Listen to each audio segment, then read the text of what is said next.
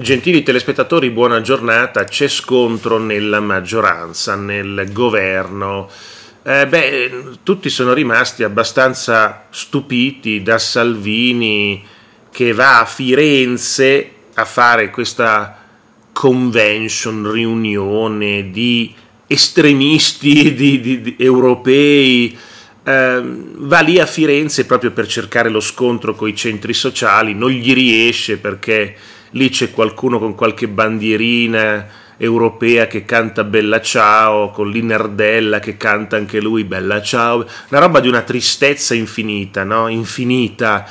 Quindi lo scontro che cercava Salvini proprio andando a Firenze non c'è stato, ma anche la manifestazione, dicono proprio i suoi alleati di governo, beh, la manifestazione di Firenze, il raduno di Firenze è un insuccesso, lui Salvini gioca a poker e poi mi chiedo, me lo chiamate gioco a poker questo? Andare a Firenze con un gruppo di personaggi europei veramente discutibili, no? complottisti, antisemiti, anti-fans di, di, di Mosca, insomma una bella compagnia di gente di, di, di, un certo livello, di un certo spessore morale e politico. Eh? Beh, insomma, io vi dico questo. Se Salvini è all'8% ci sarà un motivo, no? Se stiamo insieme ci sarà un perché. Eh, se, se lui dal 4 è andato al 35, dal 35 è piombato all'8%, un motivo ci sarà giusto? Bene.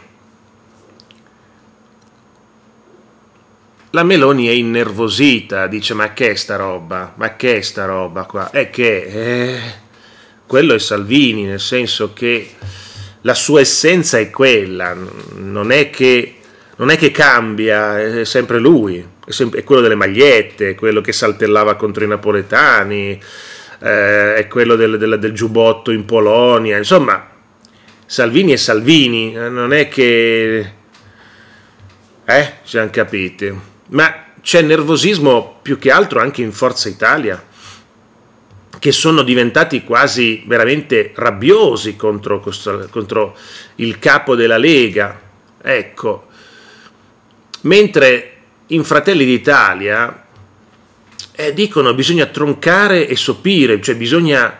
Eh, nascondere, tentare di dimenticare il raduno fiorentino di Salvini con gli estremisti europei lì per provocare i centri sociali, insomma. Diciamo che le tattiche salviniane elettorali non è che abbiano un grande successo, se no non sarebbe all'8%. Eh.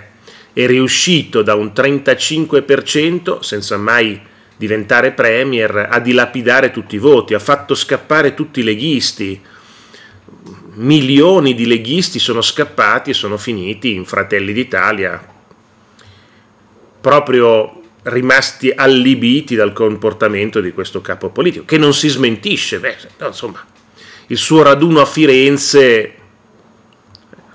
Vedete, Fratelli d'Italia fa adesso sua, il suo Atreio, ma è eh, un posto dove ci sono invitati di tutti i partiti, dove si ragiona, dove ci sono interviste, Atreyu non è, non è un ricettacolo dei peggiori estremisti eh, e pensatori e politici europei, non è che Atreyu diventa la riunione dei peggio, no, è un'altra cosa.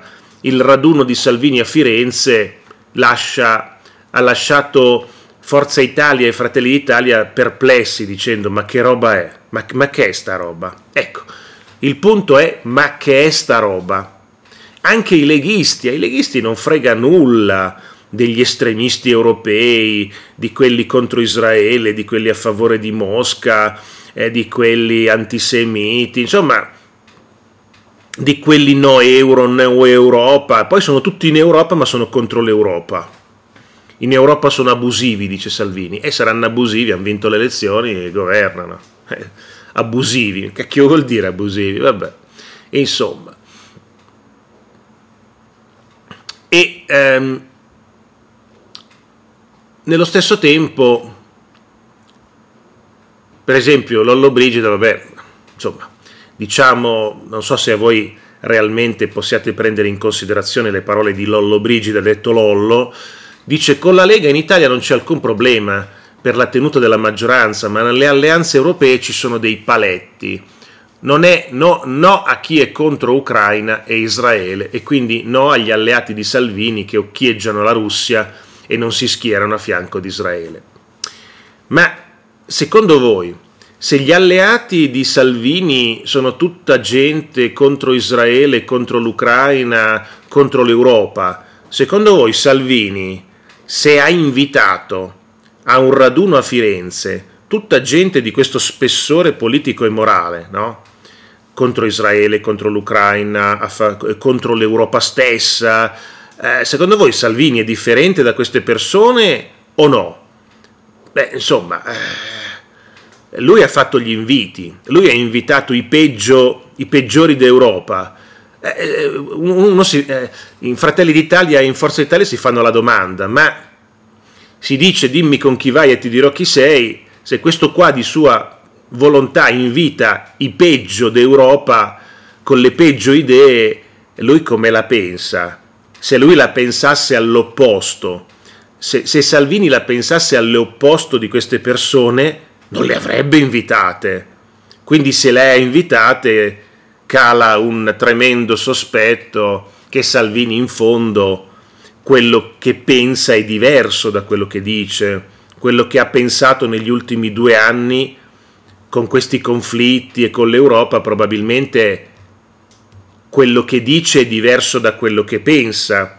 Quindi il vero Salvini oggi non è propriamente quello che vediamo nel governo che fa le leggi, che invia aiuti all'Ucraina, che parla bene di Israele. Probabilmente il vero Salvini è un altro. Ecco, il vero Salvini è un altro.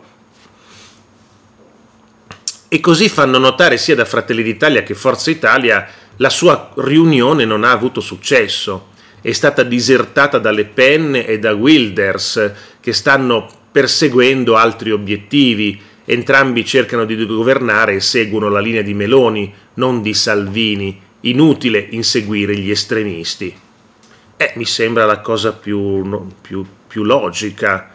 Inseguire gli estremisti e gli estremismi non porta voti, anzi te li fa perdere. Non c'è nessun governo che arriva al 30% con gli estremisti, nessuno. Quindi quelli che non sono andati da Salvini al raduno avevano capito che quello era un raduno di, di gente anti-Israele, anti-Ucraina e anti-Europa. E i due leader se, di destra hanno disertato il raduno di Salvini perché hanno capito di che cosa si trattava e hanno detto ah no non posso, devo andare in posta, mi spiace, dai, mi faccio sentire io, sarà per un'altra volta. Arrivederci a tutti e grazie.